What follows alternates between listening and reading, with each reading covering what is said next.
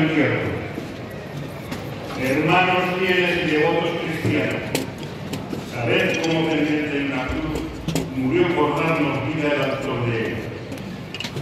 Su Madre Santísima está desconsolada, esperando pacientemente su cruz y pobreza, asistéis al cortejo de su soledad, que será entre 8 y 10 horas de esta tarde, y al entierro de su Hijo nuestro Salvador, Jesús Nazareno, que será entre 4 y 6 horas de la tarde de mañana.